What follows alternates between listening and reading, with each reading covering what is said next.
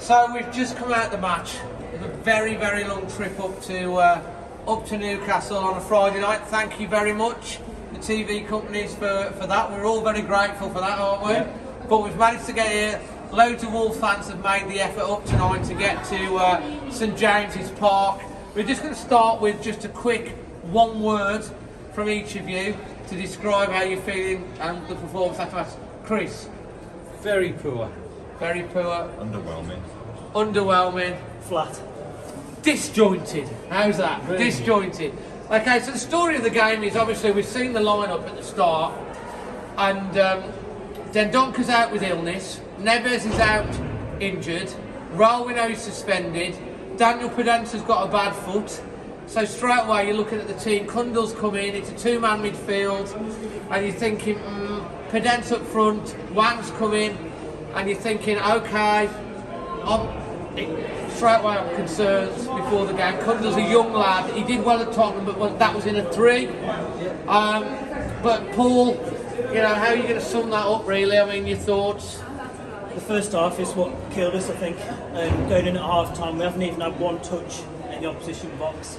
And I think playing against a team who's just had five put past them and we want to get into the top six, there's a real chance to show them that we mean business and put pressure on the teams that are playing tomorrow. And I don't know why we weren't a bit more front foot and trying to get that Did you think goal. it was a little bit side, side, back, side, side, back, was bit like yeah? Tactic, tactics that Because you're not happy, are you, Chris? That was definitely Chris, tactical. just say it how it is. Yeah, yeah, you know, as Paul said, they've just got five put past them, and they've come out. We've, we've hardly crossed the halfway line, haven't we, in the first half? Why? Why don't we just be a bit more offensive? We didn't. Do you think it was because Cundle, who's came in, who's a young lad, and we don't want to be critical of Cundle because he's going to have a great future. Moutinho's in there. Dendoncker against Villa. Let Moutinho do his magic. Neves does the same. Cundle's a young lad and he didn't want to make any mistakes, and that was why he hasn't quite got the experience. I mean, what do you think, I think everyone was negative. That was the problem. I think it wasn't just Cundle. I mean, it's a big ask to be. Yeah, you know, big ask two, for him. To be in a Young two, lad. it's a big ask. But everyone was negative. The balls were going backwards. There was no real sort of energy going forward. It was just. It felt so flat that first half. But again, we were saying at half time. You know, you. You understand that a little bit if they come out second half and really give it a go. Yeah. I don't it just feels like a massive opportunity missed to, like Paul said, put pressure on the top on those. A bit top like teams. Everton away. We did the same at Everton, didn't we? We thought we poor first half. And then we were a lot better But second half. apparently that was the game plan. The second half, we kept we, we bossed the match and won one 0 Yeah. I've heard a lot of people say, Paul, that it was the poorest attacking half of football that we've seen, and we've had some poor attacking halves in November and December this year that they've seen Wolves play this year in the first half, especially. Yeah, I couldn't disagree uh, with that. I think literally there was one cross in the box that didn't find its target and a, one long range shot. I dread to think what the XG would have been if you if you're into stats like that. But it can't be down to the personnel for me. It's down to the instructions that they're playing to. And if you consider our record about not conceding away from home in first halves, there's a clear plan there. Um, and great, we managed to get to uh, half time at nil nil. So now, right, go for it. Let's get the next goal. And I think actually, when they scored, we probably were starting to, get to yeah. turn the screw Yeah. a little bit without. without, without threatening the goal. Yeah, without like massively putting them under pressure. I did think we were starting to show that we did mean business, but not good enough. No, no, definitely not good enough. I mean, uh, I mean, the way I the way I see it, I was concerned before the start of the game. Um, Podence was a massive miss, probably more than Dendoncker, because Yeah. Podence has got that when he uh, when he's on the pitch, our goal ratio is so much higher, and the front three played as though they'd, they'd only just met each other today. I, I cannot fault, I don't know about you, Fabio Silva. Yeah, I thought he did everything in the last minute. He tried. He got shot away in the second half out of nothing, which the keeper did well to save. Hwang in the first half was AWOL missing in action. I didn't even know he was on the pitch. Again, Trincao was the Trincao that we'd seen previously, kept giving the ball away. Was that because Podence wasn't on the pitch and they link up well?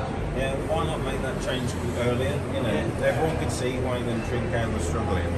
That change could have been made good 15 minutes earlier, really got it for it, but just that felt too little too late, really. Well, I mean, Chris, do you think that the changes should have came early? Because to me, Neto should have been on at least 60 minutes, not the 75th minute.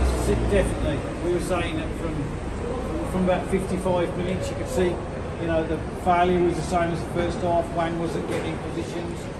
You know, I don't know what's wrong with him. He can't seem to turn on the ball, can he? No, he's a, he's a different type of player to Podence and Trincao. They've got the tricks. Hwang's a little bit more direct, and he, you know. But he's direct that way. He's But yeah, that way. and there was so much passing back side to side, and we never got a grip of the midfield, and we never got on top. Maybe it would have been better if we'd have had a three-man midfield. I know we haven't got a midfield, but Saiss could have potentially come in, and that would have given Moutinho and Luke Cundle a little bit more cover. Uh, Paul, man of the match for you. Come on, you're going to pull one out, and your performance rating. It's not easy to pull one out, um, just because no one really stood out. But I think I'd probably say that if anyone was going to get the goal for us, it was going to be Silva. I think he led the line well, showed well um, in difficult conditions, and unlucky not to score down at the keeper's bottom right in the second half. So he'd been the man of the match, and um, I'd have to give the performance rating five. Maybe that's even been generous, and at half time it wouldn't have been that high, but five overall. Five, Andy. I think Silva as well, definitely man of the match. Can't argue with that. He fed off scraps, and I thought he did, you know, well with what he had to work with. Um, definitely a five overall. Just so so disappointing. Five, and Chris. Yeah, I'm going to go Fabio as well, but I'm going to go four. A four. So I'm going to No go. attacking three. I'm going to go with a, a. I'm going to concur with Paul, and we talked about this with the producer. A five. I don't think you can give it more than a five. No. I thought Kilman had a decent game with the maximum. He made a couple of mistakes, but his, some of his tackles were good. But I'm going to go with Fabio Silva again because I thought he was. He did everything that he could with what he had, with the support that he had around him. And I've got one more final question, and guys, we want to get your opinions in the comments. Just say how it is. But I'm going to go round. The, I'm going to go round all of us now. Europe, is it still on or is it gone? It's gone. It's gone.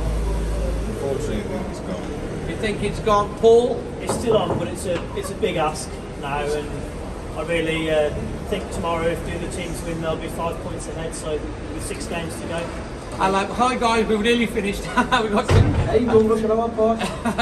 Um, I think what Paul said, I think basically the good feeling I think for most Wolves fans is that Europe's probably gone unless the likes of West Ham and Man United really trip up again the weekend because we need them to lose and us to win and now we're hoping that they will lose again so it probably has moved away again before when we said we've had about 11 games to go We've got six games to go.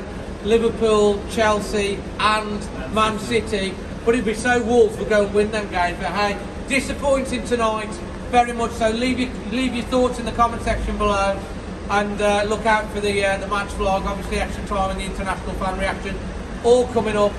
We're going to go away now and find somewhere to uh, Drown our sorrows. Yes, probably drown our sorrows and uh, and chew on the fat on this one. It's been a disappointing night here for Wolverhampton Wanderers at St James's Park. It's finished Newcastle United one, Wolverhampton Wanderers nil. But it is a great away day. Yeah. we'll say we'll that. be back next year. We'll, and yeah, we will be back next year because Newcastle will be in the Premier League and next year. dead friendly.